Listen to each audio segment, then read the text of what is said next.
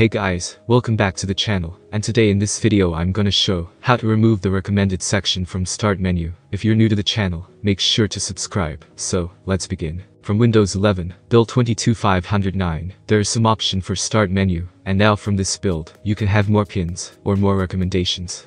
Some of the users may find the recommendation section useless and may want to remove it. To remove it, go to the link and download the Windows SDK installer. After downloading, run the installer. And now, proceed with the installer, as shown.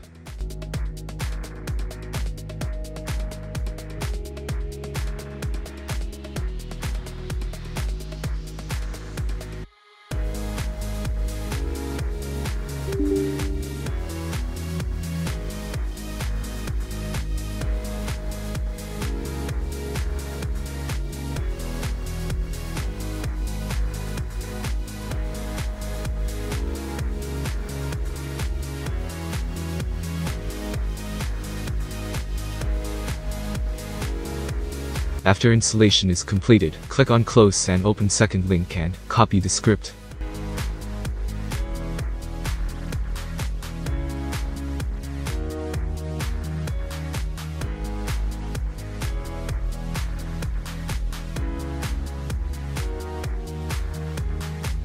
After copying, create a new text document and paste the script to it. After pasting, save it as a bat file.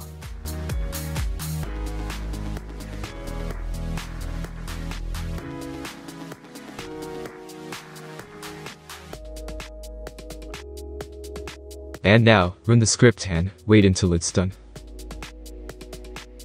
And now you can see, there's no recommendation section in the start menu. But after the restart you'll need to run the script again. To avoid running the script again and again, you'll need to put the script to be launched automatically at startup. To do so, press Windows plus R and then type the following. After typing, click on OK. Here, copy the script and you're done.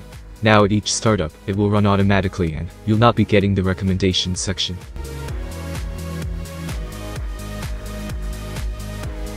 In case you want to roll back, simply delete the script and uninstall Windows SDK and after the restart, old start menu will be there.